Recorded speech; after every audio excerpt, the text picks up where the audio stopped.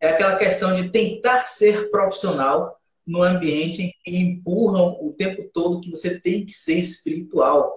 E aí a galera tenta trazer é, algum tipo de profissionalismo para dentro da igreja e essa corrente acaba falando que não deveria ser profissional. E aí vem aquela questão de, de o que é que o músico está disposto a fazer, qual é a proposta dele ali.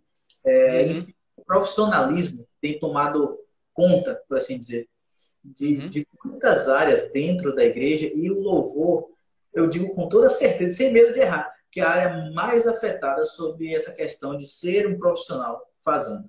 Uhum. Porque, querendo ou não, é, o músico, além de tocar ali, sempre pensa em ganhar dinheiro com música.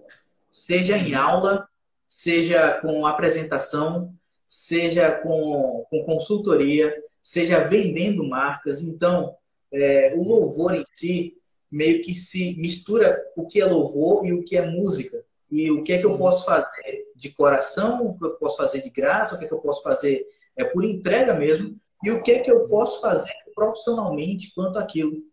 Então, é uma linha muito sensível do, do quando termina um e quando começa o outro. Entende? É, eu acho que isso aí tem que, tem que ter o envolvimento da vida da igreja. O, o que o pastor, o que, qual é a intenção do pastor com a equipe de louvor? Isso daí. Por quê?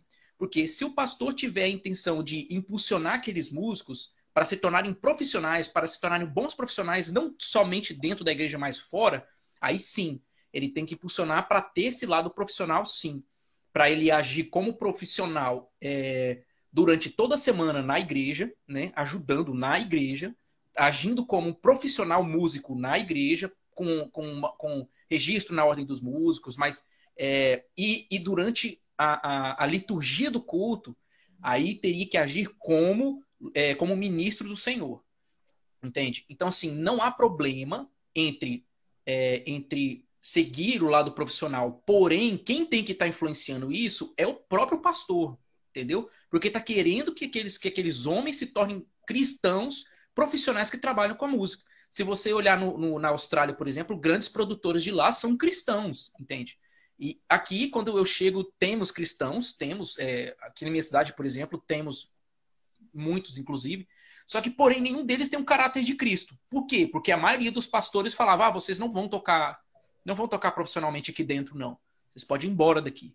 Então, assim, é, uma, é o que você falou. Tem um lugar onde começa e onde termina. Mas esse lugar onde termina e começa, ela nunca terá fim na vida cristã. Entende? É, é, a vida cristã que vai definir onde é que tem que ser o profissional e onde é que vai ser o ministro do louvor. Ficou claro? Eu não sei se ficou claro o jeito que eu falei. Eu, entendi, eu entendi sim, eu entendi sim.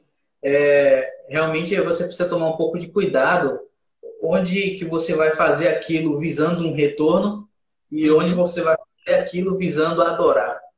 E então... é, e quem vai fazer isso é a vida cristã. É o cara, é, é a, o caráter de Cristo nessa pessoa. Aí já envolve, né, discipulado, do lado profissional foi o que eu falei, é o pastor, né, que ele tem que trazer equipamento e motivar eles a crescer, essas paradas.